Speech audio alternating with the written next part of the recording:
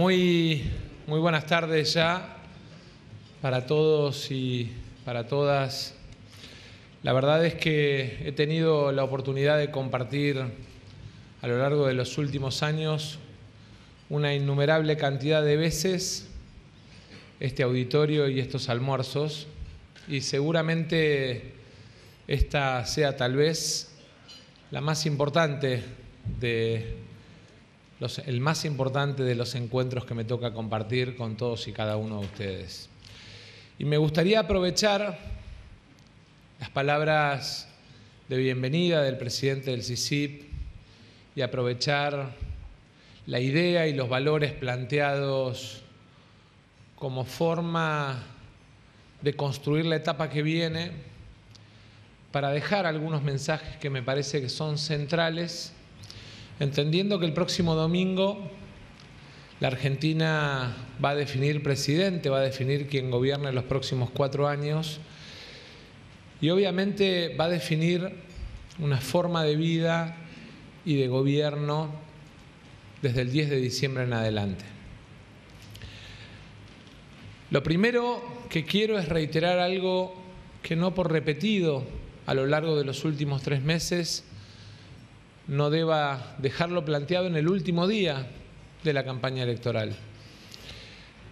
Y que es que tengo la firme decisión, si los argentinos y Dios me dan la responsabilidad de gobernar, de que el 10 de diciembre empiece una etapa nueva en la Argentina. 40 años de democracia para quienes somos hijos de la democracia nos fue moldeando y enseñando cuáles son los errores que debemos corregir y cuáles son los valores que debemos construir. Y el primer gran cambio que la Argentina debe recorrer desde el 10 de diciembre es la construcción de un acuerdo de unidad nacional con la definición de 10 políticas de Estado que nos den no solamente previsibilidad y largo plazo, sino también que nos den la posibilidad de recorrer sin marcha atrás caminos de desarrollo para la Argentina. Esos 10 acuerdos están basados además en algunos principios, principios económicos, pero también principios de valores de funcionamiento institucional. Desde el punto de vista económico, claramente el aprendizaje de nuestros errores, sobre todo habiendo vivido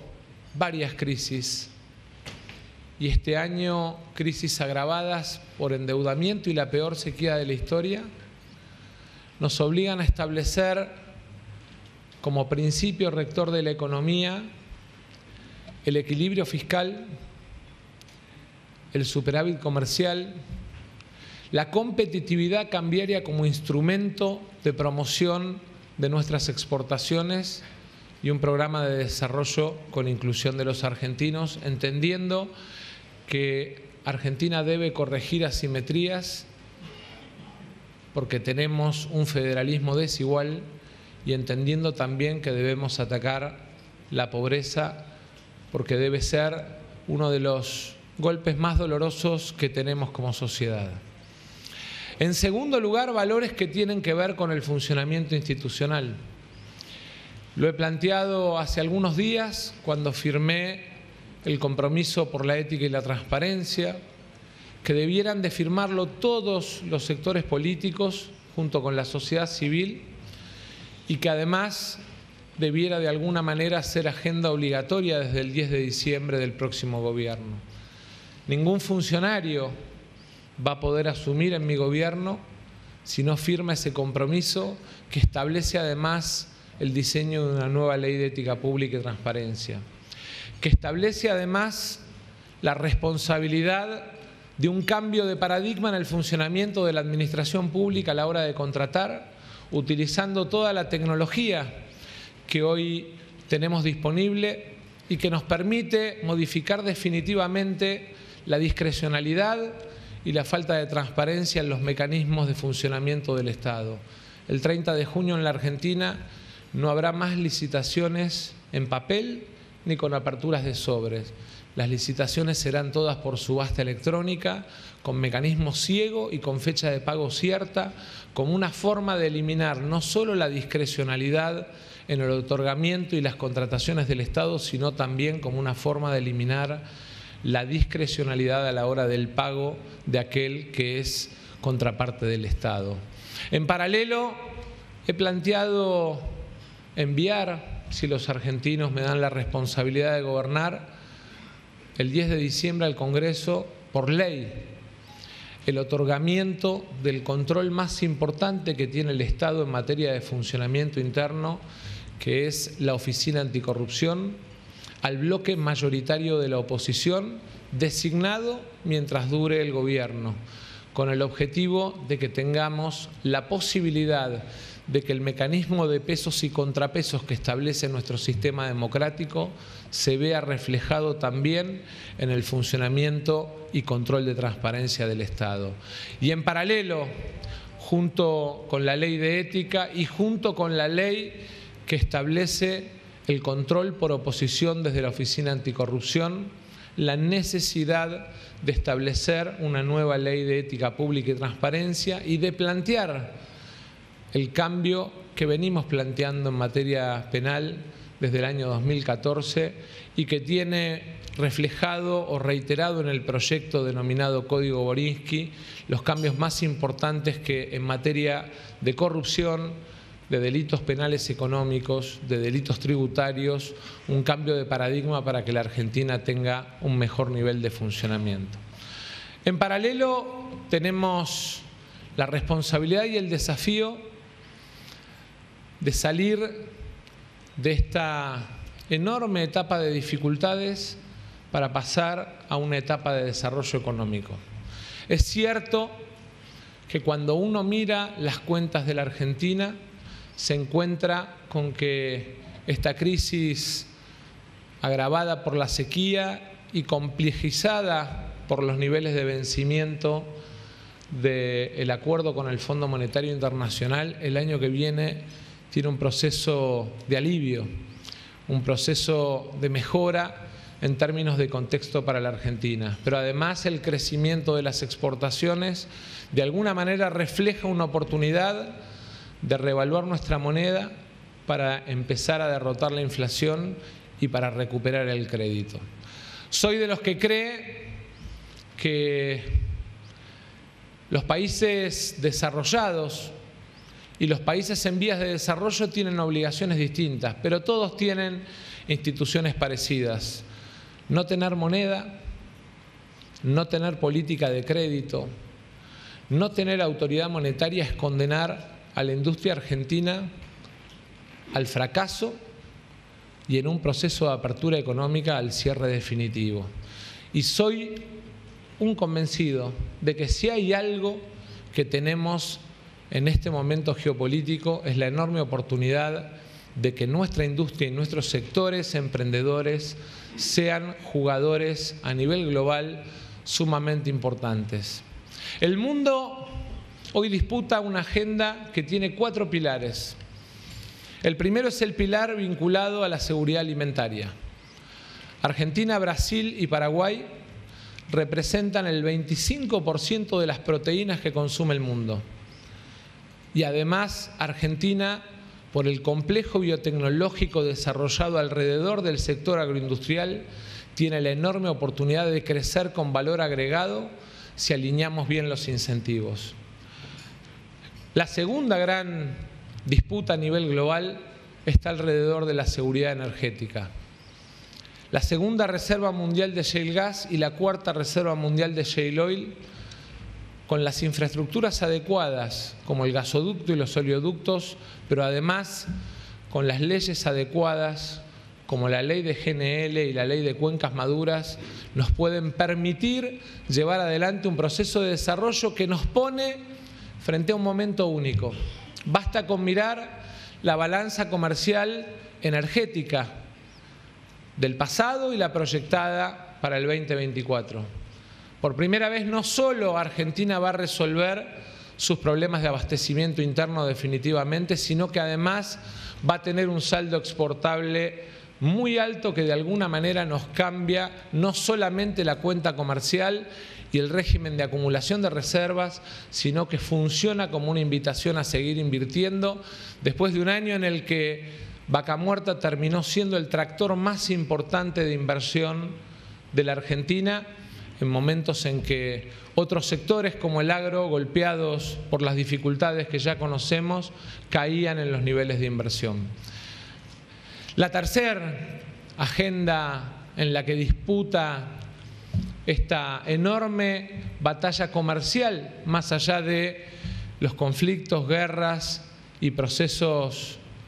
que desgraciadamente enlutan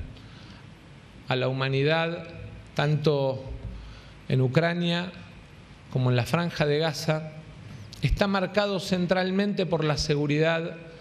mineral. La decisión de China de retirarse del mercado de dióxidos le abre al norte argentino junto con el litio y el cobre una enorme oportunidad. Ya no es solamente el proyectado de exportación de plata o de algunos otros minerales, sino centralmente la oportunidad de crecer y de desarrollarnos en el mercado del litio, en el mercado obviamente del cobre, pero también centralmente en el mercado de dióxido sobre la base de que Argentina tiene en lo que denominamos sus tierras raras una enorme oportunidad de crecer en términos de exportaciones y eso lo refleja el proyectado de la balanza mineral para el año que viene con más de 11 mil millones de dólares de exportaciones. Y sin duda, el cuarto gran eje de disputa a nivel global pone a la Argentina frente a una enorme oportunidad. La economía del conocimiento, en el marco de la revolución de la tecnología y la información, representa para la Argentina una enorme oportunidad en términos de participación global en la venta más importante que puede tener un país, que es la venta de capital humano. Cuando miramos el crecimiento que ha permitido en el paso de los distintos gobiernos por haber construido una política de Estado, en el sector de la industria del software, en el sector de la industria del conocimiento, la ley de economía del conocimiento, claramente vemos ahí que cuando los argentinos tenemos sobre algún sector económico una política de Estado, inexorablemente nos enfrentamos frente a posibilidades que se nos abren a nivel global y que obviamente lo que requieren es de que aprovechemos al máximo esa oportunidad. El crecimiento del sector conocimiento en materia de exportaciones debe venir acompañado de algunas políticas adicionales, pero también se pone en riesgo si atacamos lo más importante que tenemos en materia de construcción de esa política económica que es el capital humano. Capital humano construido sobre la base de un sistema educativo en la Argentina que se basa en la capilaridad del sistema de educación pública con más de 23.000 escuelas rurales y que se basa en la gratuidad del sistema universitario que nos permite que ese capital humano potencial esté presente en cada rincón de la Argentina y en cada hogar argentino más allá de las condiciones en las que hayan nacido. Creo centralmente que eso debe venir acompañado de medidas y de iniciativas. ¿Cuáles son los principales caminos a recorrer desde el 10 de diciembre? Para el crecimiento exportador, vamos a cero de impuestos internos, sobre todo el incremental exportador, para todos los sectores exportadores de la Argentina. Piensen que en el sector denominado de pequeña y mediana empresa exportadora estamos ya en un volumen de 13.680 millones de dólares, pero con un valor central de diferencia, que es el valor de la tonelada. El promedio de las exportaciones argentinas está en 550 dólares la tonelada. El promedio de la exportación pyme está casi en cinco veces, en 2.360 dólares el valor de la tonelada. Y eso tiene que ver con algo muy importante, que es lo que denominamos valor agregado argentino. Ese valor agregado que no solamente genera riqueza, sino que además genera en términos de mano de obra mejores salarios porque la diferencia entre el sector exportador en términos de salarios y el sector de mercado interno orilla hoy casi 24 puntos en materia salarial. Y tiene que ver con que claramente cuando abrimos mercados exportadores, mejoramos los salarios, mejoramos capacidades en términos de capital humano y además mejoramos competitividad de nuestras empresas. ¿Cuáles son los riesgos en estos dos modelos de países que estamos enfrentando? El primero, muchos de los que están acá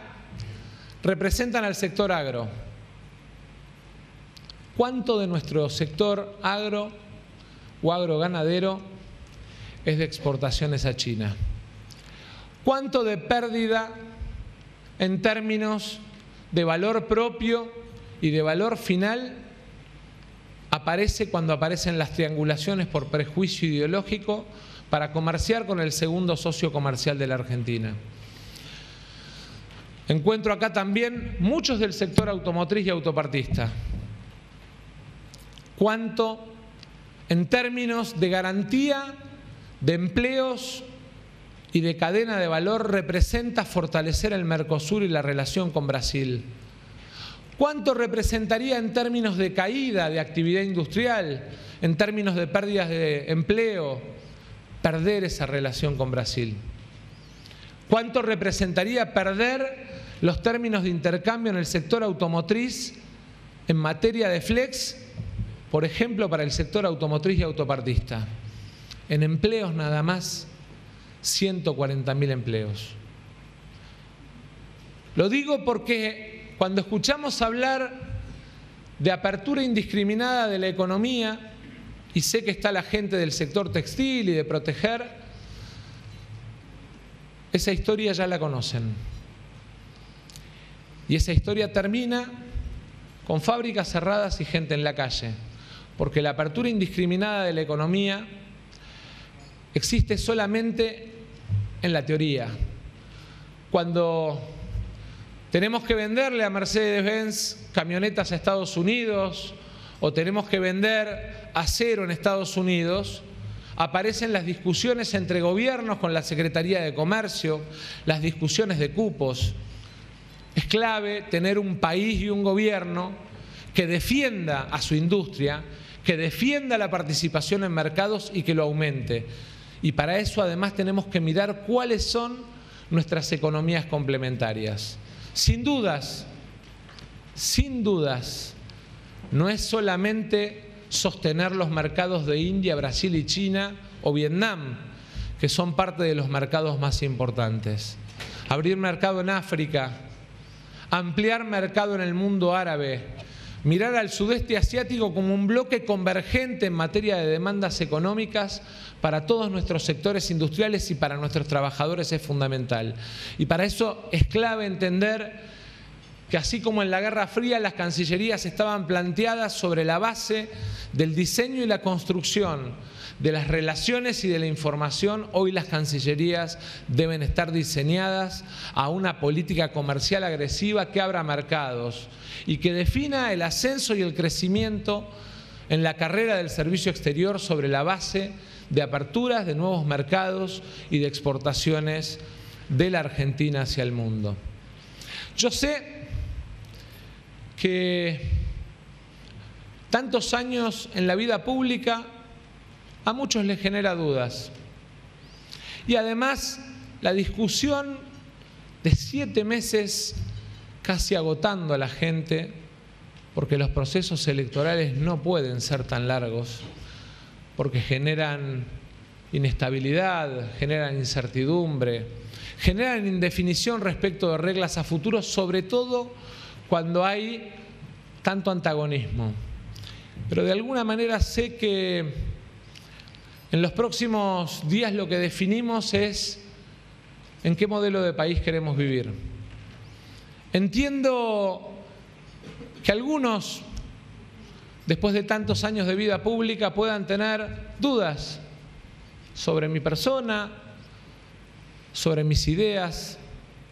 pero el compromiso público en esta era en la que todo queda registrado es la mejor forma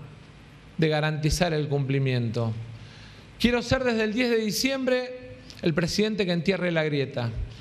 Quiero ser desde el 10 de diciembre un presidente que siente a ustedes a la mesa a tomar decisiones para abrir nuevos mercados y para generar más trabajo de mejor calidad y mejor remunerado en la Argentina.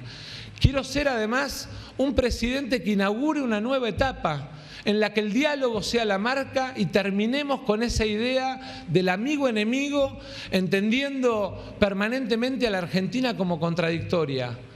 Quiero que enterremos juntos la idea de que la Argentina es el campo o la industria, es el campo y la industria. Quiero que terminemos con esa idea de que la Argentina es el interior o la ciudad. La Argentina es un todo maravilloso con enormes recursos y con enormes posibilidades. Quiero además que entendamos que el pasado ya no se discute más. No estamos discutiendo acá a uno u otro expresidente, porque somos dos los que podemos gobernar desde el 10 de diciembre. Y quiero que sepan de mi compromiso,